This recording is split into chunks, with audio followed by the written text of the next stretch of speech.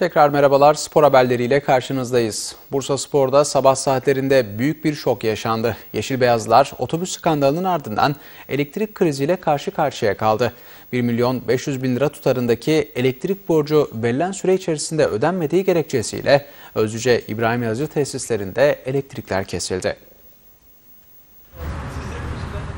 Bu sezon Spor Toto Süper Lig'de küme düşen ve 1. Lig'de mücadele edecek olan Bursa Spor'da otobüs skandalının ardından yeni bir kriz daha ortaya çıktı.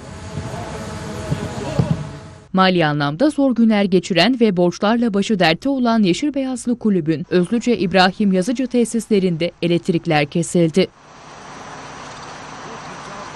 Kulübe geçtiğimiz günlerde Özlüce İbrahim Yazıcı tesisleri, Bursa Büyükşehir Belediye Stadyumu ve Vakıfköy Orhan Özselek tesislerindeki ödenmeyen toplam 1 milyon 500 bin Türk lirası tutarındaki elektrik borçları için ihtarname çekilmiş ve verilen süre içerisinde bu borcun ödenmesi talep edilmişti. Ancak 1 milyon 500 bin Türk lirasının verilen süre içerisinde ödenemediği gerekçesiyle Özlüce karanlığa büründü. Özlüce'de jeneratörler eşliğinde çalışmalar sürerken krizin çözülmesi için tarafların görüşmelerini sürdürdüğü kaydedildi. Bursa Spor Başkan adayı Mesut Mestan'ın gönlünden iyi bir kadro geçiyor ancak mali tablo herkesi korkutuyor. Mestan'ın adayları arasında son olarak Altay'da forma giyen ve geçtiğimiz sezonda gol, gol kralı ünvanını alan Portekizli forvet Marco Paisaio var. Spor Toto birincilikte mücadele edecek olan Bursa Spor'da başkan adayı Mesut Mestan'ın transfer için arayışları sürüyor.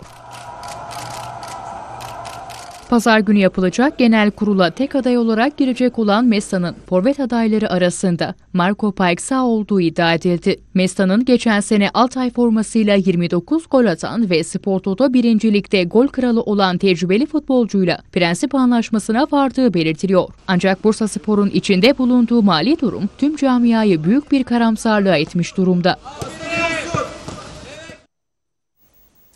Uzun süre Bursa Spor forması giyen tecrübeli futbolcu Volkan Şen, Bursa Spor'daki gelişmeleri yakından takip ediyor. Adı bir süredir Yeşil Beyazlı Camia ile anılan Volkan, Bursa Spor'dan gelecek haberi bekliyor.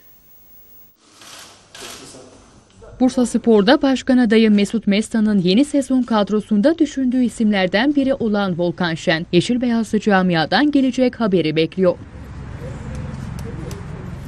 Bir süredir Bursa'da olan tecrübeli futbolcunun şu ana kadar Mesut Mesan'la bir görüşmesi olmadığı belirtildi. Bursa Spor'da gelişmeleri yakından takip eden Volkan Şen'in yeniden yeşil beyazlı formayı giymek istediği ve taraftarın da bu transfere sıcak baktığı biliniyor. Geçen sezonu boş geçiren deneyimli krampon en son Konya Spor'da forma giymişti. Göreyim parmak ucunda Bursa Spor'la bir yıl daha anlaşması bulunan Arjantinli oyuncu Santiago Vergine sözleşmenin fesi için çareler arıyor. Samet Aybaba'nın isteği üzerine takıma alınan ve çok fazla forma şansı bulamayan Vergine'nin geçen sezonki alacaklarının yanı sıra 350 bin dolar daha talep ettiği öne sürüldü. Bursa Spor'un sezon başında büyük umutlarla Arjantin'in Boca Juniors takımından transfer ettiği Santiago Vergini'nin takımdan ayrılmak için para istediği öğrenildi. Geçtiğimiz sezondan kalan alacaklarıyla kulübe ihtarname çeken Arjantinli futbolcunun sözleşme fesi için de ekstradan 350 bin dolar daha talep ettiği öne sürüldü. Bursa Spor'dan yılda 850 bin dolar kazanan Vergini'nin geçen sezondan 350 bin dolar alacağı olduğu öğrenildi. Yeşil Beyazlı Kulüp önümüzdeki sezon Arjantinli futbolcuyla devam etmeme kararı alırsa toplamda 700 bin dolar ödemek zorunda kalacak. Vergini ile alakalı son kararı yeni gelecek yönetim ve teknik heyet verecek. Tecrübeli stoper geçen sezonun büyük bölümünü yedek kulübesinde geçirdi. Bursa Spor'da geçtiğimiz sezon başında göreve başlayan teknik direktör Samet Aybaba'nın isteği üzerine transfer edilen Verjini, ligde 8 karşılaşmada görev yaptı, 720 dakika sahada kaldı. Ertuğrul ve Şeju'nun arkasında bekleyen Arjantinli oyuncunun geleceği, pazar günü yapılacak genel kurulun ardından belli olacak. Türkiye Futbol Federasyonu Başkanı Nihat Özdemir, yeni dönem görev atamalarının ardından Merkez Hakem Kurulu ve Tahkim Kurulu'nda da yeni atamalar yapılacağını söyledi. Nihat Özdemir ayrıca kulüplerin mali yapılarının düzeltilmesine yönelik çalışmalarında sürdüğünü ifade etti. Türkiye Futbol Federasyonu Başkanı Nihat Özdemir, TFF'de yeni yönetim kurulunun belirlenmesinin ardından Merkez Hakem Kurulu ve Tahkim Kurulu gibi kurulların yeniden atanacağını söyledi. Tüm futbol kamuoyunu ilgilendiren Özdemir, bunların hepsinin yeniden atanması gerekiyor. Önümüzdeki haftalarda, Haziran sonu veya Temmuz başında tüm bu kurullarla ilgili atamalarımızı yapacağız ve o arkadaşlarımız da yeniden göreve getirilecektir. Yeni arkadaşlarımız da başlayacaklar diye konuştu. yönetim kurulumuzla beraber Kulüplerin mali yapılarının düzeltilmesine yönelik çalışmaların sürdüğünü belirten Nihat Özdemir, Bankalar Birliği ve bankalarımızın hepsi tek tek kulüplerimizin mali yapılarının toparlanabilmesi için borçların yeniden yapılandırılması konusunda hemfikirler. Kulüplerimizle birebir görüşerek tüm bu yapılandırmaları yapacaklardır. Kulüplerimizin buna çok ihtiyacı var ifadelerini kullandı. A milli takımın performansına ilişkinse Özdemir, son iki teknik direktörümüz Sayın Fatih Terim ve arkasından Sayın Lucescu ile birlikte A milli futbol takımında bir gençleştirmeye gidildi ve bunda başarılı olundu. Şu anda Şenol Güneş bu iyi kadroyu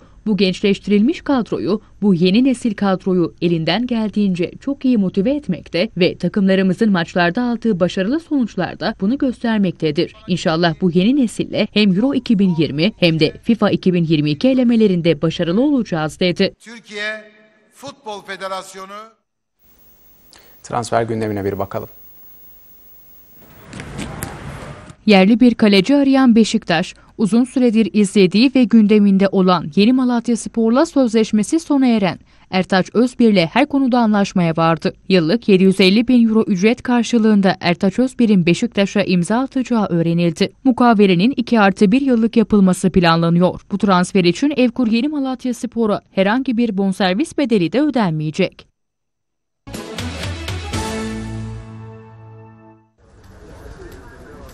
UEFA kriterlerine uymak adına satmadan alma prensibini benimseyen Galatasaray yönetimi Cagney'e gelecek teklifleri bekliyor. Senegalli futbolcunun satışından gelecek parayla orta saha ve forvete takviye yapılacak. Golcü futbolcu için gelecek teklifleri bekleyen yönetim 15 milyon euro ve üzerindeki rakama evet diyecek. Sarı Kırmızılı kulüp özellikle Arap ekiplerinin gündeminde olan golcü futbolcu için istediği rakam gelene kadar bekleyecek. Galatasaray Mbaye Cagney'i iyi bir rakama satarak UEFA kıskacına da takılmamayı hedefliyor.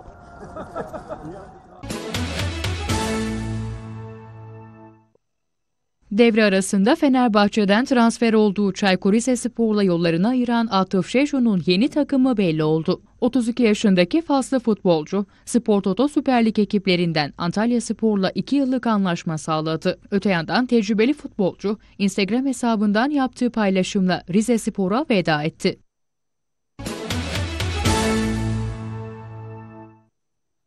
Kasımpaşa geçen sezon Akisar Spor forması giyen kaleci Fatih Öztürk'le 2 yıllık sözleşme imzaladı. Akisar Spor'da gösterdiği başarılı performansı adından bahsettiren Öztürk, Kemerburgaz tesislerinde kendisini 2 yıllığına lacivert beyazlı formaya bağlayan sözleşmeye imza attı.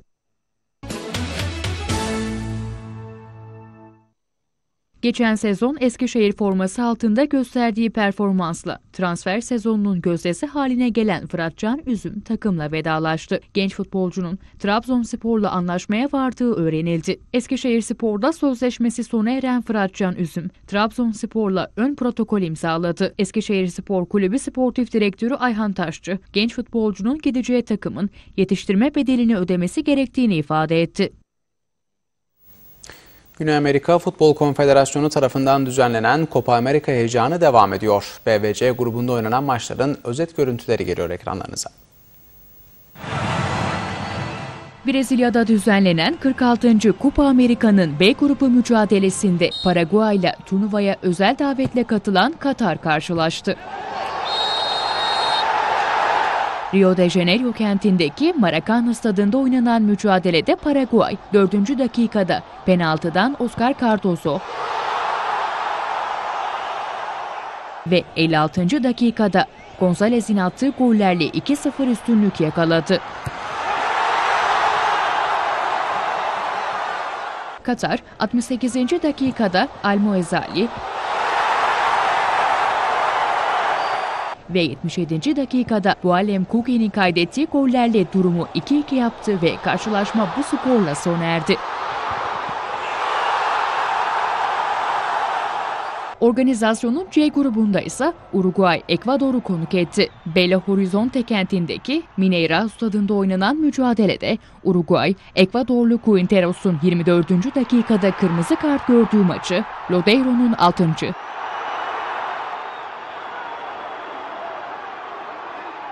Cavani'nin 33.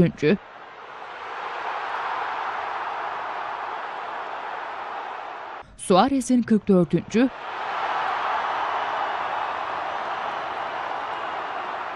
ve Mina'nın 78. dakikada kendi kalesine attığı gollerle mücadeleyi 4-0 kazandı.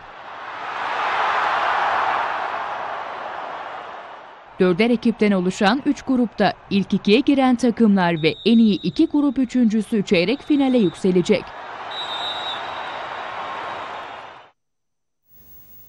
...2019 SEV Avrupa Altın Ligi'nde dörtlü finale kalmayı önceden garantileyen A Milli Erkek Voleybol takımı A grubundaki son maçında Letonya'yı da 3-0 yenerek 6'da 6 yaptı ve grubunu namağlup lider bitirdi.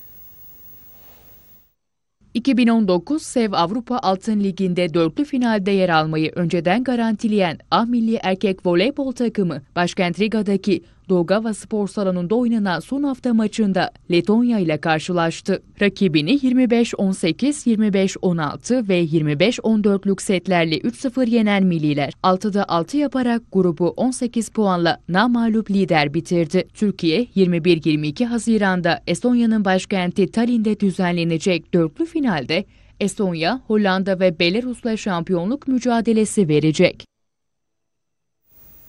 Bültenimizin sonuna geldik. Hoşçakalın.